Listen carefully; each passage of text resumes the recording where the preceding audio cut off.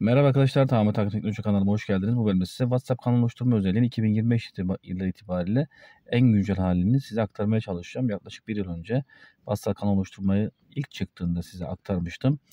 Burada gördüğünüz gibi 23 bin izlenme, 243 beğeniyle e, ciddi bir ilgi gördü. Fakat artık e, bir yıl önceki WhatsApp kanal oluşturma üzerine yeni güncellemeler, yeni özellikler eklenmiş oldu. E, bunları şimdi size adım adım aktarmaya çalışacağım. Tamir teknolojide başlıyoruz arkadaşlar. Videomuza başlamadan önce kanalımızın beğen butonuna basarak lütfen desteklemeye çalışın. Ee, bu şekilde bizi de motive etmiş olursunuz. Şimdi geliyorum arkadaşlar. Bir WhatsApp açtım. WhatsApp açtıktan sonra bakın burada sohbet, güncellemeler ve topluluklar diye sekme devam ediyor. Bizim ilk hareketimiz, ilk geleceğimiz nokta güncellemeler sekmesi. Güncellemeler sekmesinde bakın sağda 3 nokta var. Üstte, en üstte sağda 3 nokta var. Bunu seçiyorsun. Burada kanal oluştur sekmesi var. Kanal oluştur sekmesini seçtiğinizde size bir uyarı veriyor. Diyor ki herkes kanalınızı keşfedebilir. Yani şunu yapamıyorsunuz. Ben kanalımı bazı kişilere göstereyim. Bazı kişiler işte görmesin. Birilerine ulaşsın, birilerine ulaşmasın diye bir şey yok. Yapmış olduğunuz kanal herkese açık bir kanaldır. Kullanıcılar sizi değil, kanalınızı görür. Yani sizin bir WhatsApp WhatsApp'ınız var ama kendinize bir WhatsApp profiliniz var. Burayla alakalı bir şey görmez. Sadece kanalınızda ne verirseniz onu görür. Kanalın sorumluluğu sizdedir diyor arkadaşlar. E, çünkü bu tek taraflı bir uygulama olmuş oluyor bu kanal oluşturma. Siz o kanal kanalınıza hangi datayı veriyi atarsanız oradaki takipçiler onu görüyor. Takip, tabii ki siz burada bir veri, bir data paylaşırken de bunun bir sorumluluğu olması gerekiyor. Yönergeler kısmına sizin için giriş yapıyorum. Burada bakın WhatsApp kanal kuralları var. Burayı okumanızı tavsiye ederim. Ama şöyle kabaca bakıyorum ben size. Yaşa, yasa dışı içerikleri paylaşmayın. Yasa dışı faaliyetlerde bulunmayın. İnsanlara ciddi zarar gelebilecek içerikleri paylaşmayın. Dolandırıcılık yapmayın. İçerikleri tüm WhatsApp kullanıcılarının yaşlarına uygun tutun. Gibi burada e, sorumluluk beyanları var ve e, siz bunları uymuş oluyorsunuz. Eğer uymazsanız işte kanalınızın askıya alınması, e, davet bağlantılarının geriye çekilmesi gibi birçok şey hatta yani hukuki süreçlere doğru giden bir açıklamalar var. O nedenle burayı okumanızı tavsiye ederim. Şimdi kanal oluşturmak sekmesine geldim. Oluştur dedim. Burayla karşılaştım. Buradaki önergeleri okudum. Kabul ettim ve devam diyorum. Devam dediğinde benden bir kanal ismi istiyor. Ben daha önce bir kanal açmıştım kendime. Tamir takım teknoloji diye. Şimdi e, Arif Kildi diyelim. Arif Killi olarak yazayım. Burada kanal kanalın adı olmuş oldu. Kanalınızı tanımlayın diyor. Burada içerik olarak yazabilirsiniz. İşte e, sosyal medya, işte telefon vesaire gibi bilgilerde faydalı olacak içerikler üreten bir kanaldır gibi yaz, yazıyorsunuz işte buraya. Yazdınız. Ben şu an XXX diyorum. Ve kanal oluştur butonuna basıyorum. Kanalım şu an oluştu. Bakın gördüğünüz gibi Arif Killi buraya geldi. Şu an ilk açılış sayfam bu oldu. Bir geriye çıkıyorum. Ne görüyorum? Bakın sohbetler, güncellemeler bölümüne Arif Killi kanalı oluşturul diye geldi. Şimdi kanalıma giriş yapıyorum. Kanalıma giriş yaptıktan sonra yukarıda bakın sağ tarafta 3 nokta ve burada e, bir slot işareti var. Slotu tıkladığınızda kanal bağlantısı. Burada siz kanalınızı artık iletmek için bağlantılar görüyorsunuz. WhatsApp ile bağlantı gönderebilirsiniz. Durum güncellemenizde bunu paylaşabilirsiniz. Bağlantıyı kopyalayabilirsiniz. Başka bir yere yapıştırabilirsiniz. Yani size diyor ki kanalınızın bağlantısının için bir sürü seçenek sunmuş. İnsanlara ulaştırmak için bunları kullanabilirsiniz diyor.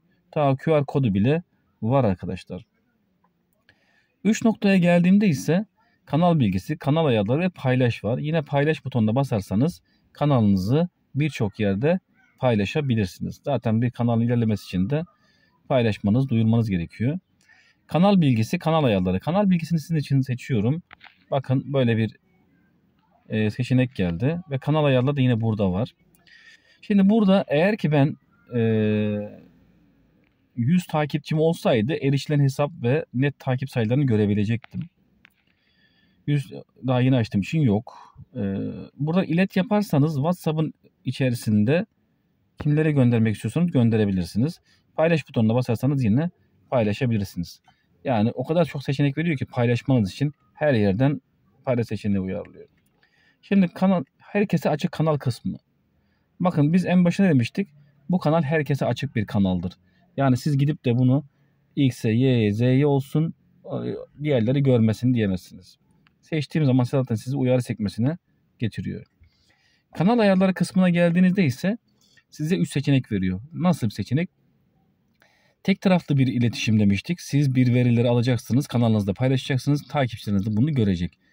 Burada aslında ufak bir takipçiye e, karşı bir iletişim hakkı tanıyorsunuz.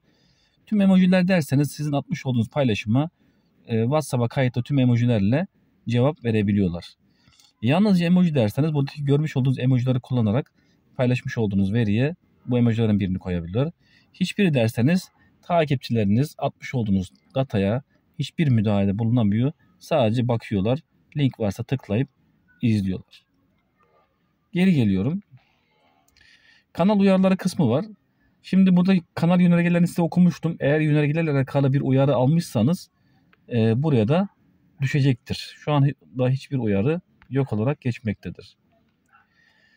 Ee, devam eden kısmında eskiden bu yoktu şimdi var arkadaşlar. Yöneticileri davet et. Sizin bir kanalınız var ve bu kanalı birden fazla yöneticiyle, da, yöneticiyle yönetmek istiyorsunuz, ilerletmek istiyorsunuz.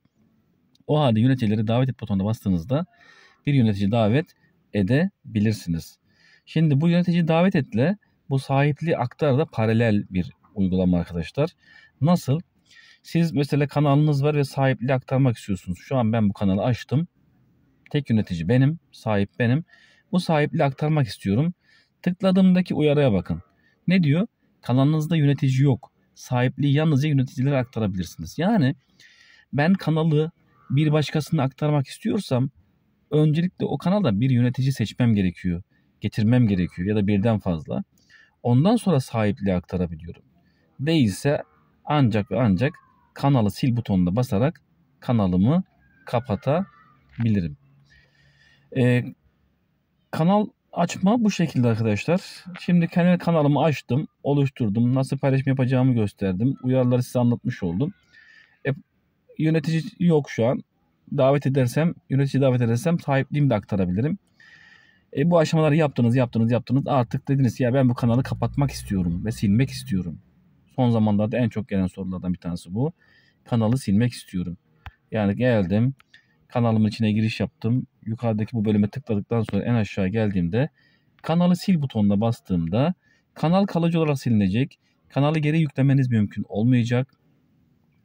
Geçmiş kanal hareketleri takipçilerinizin cihazlarında gösterilmeye devam eder diyor. Yani siz sildiniz, yeni bir veri atamayacaksınız. Karşı taraftaki takipçiler de o klasör olarak duracak. Ta ki onlar silene kadar. Yani eski hareketlerinizin hepsi karşı tarafta olacak arkadaşlar. Sil butonuna bastığımda benden ne istiyor? Kanalı silmek için ülke kodunuzu onaylayın. Ve telefon numaranızı girin diyor. Ee, buraya gireceğim ve silme işlemi tamamlayacağım. Akabinde size tekrardan aktarımda bulunacağım arkadaşlar. Şu an telefon numaramı girmek istemiyorum. Ee, silme işlemi de bu şekilde. Burada ekstra bir durum olursa telefon numarasından sonra e, size bunu da açıklamalarda yazacağım. Şimdi geldim. Bir başkasının kanalına giriyorum ve ne oluyor? Mesela Galatasaray'ın kanalına girdim. Galatasaray buraya paylaşımlar atıyor. Üzerine basılı tutarsam paylaşımı bakın bana yapmış emoji koyma seçeneğini bu e, eklemiş. Yani ben buradan bir şeyi beğenebilirim. Bir kalp emojisi koydum örneğin. Bu bölüme geldiğimde ise bakın ne diyor? Profil gizliliği. Bu kanal profiliniz ve telefon numaranız için daha fazla gizlilik sunuyor. Buradan kanalı takibi bırak yapabilirim. Başkasının bir takibi bırakmak istiyorsanız. Veya kanalı şikayet edebilirim. Rahatsız olduğum bir içerik varsa şikayet edebilirim. Şimdi buradaki en sorular, önemli sorulardan bir tanesi şu. Ben bir WhatsApp kanalı açtım. Evet. E, WhatsApp kanalı açtığım zaman kanalıma birileri geldi. E, davetliler geldi. Bu davetliler benim telefon numaramı görebilir mi? Hayır. Benim profilimi görebilir mi? Hayır. Sadece sizin e, kanalınızda oluşturduğunuz bir profil varsa onu görür. Size ait telefon ve diğer verilere ulaşamaz. Kimler ulaşabilir? Yöneticileriniz ulaşabilir. Yöneticilerin sizin birbirinizi e, verilerini görebilme olasılığını e, şeyi vardır. Yani telefon numaranız ve e-mail falan varsa bunları bilir arkadaşlar. Evet arkadaşlar tamir takım teknolojide yeni ve faydalı bilgiler buluşmak dileğiyle saygılar selamlar diyorum. Ama lütfen e, bu videom olsun, diğer videolarım olsun faydalı içerikler üretmeye çalışıyoruz, zaman harcıyoruz. Bunun karşılığı da ücretsiz olarak o video izlediğinizdeki videodan altında bulunan beğen butonuna basmaktan geçiyor arkadaşlar. Lütfen e, bunu es geçmeyelim. E, bu şekilde. Dediğim gibi kanal silde orada telefon numarası istedi. Birazdan telefon numaramı yazacağım ve sil butonuna basacağım. Orada ekstra bir görüntü şey oluşturuyorsam ayrı bir video olarak bu videonun devamında sonunda onu da size açıklayacağım arkadaşlar. Tamir takım teknolojide görüşmek dileğiyle saygılar selamlar.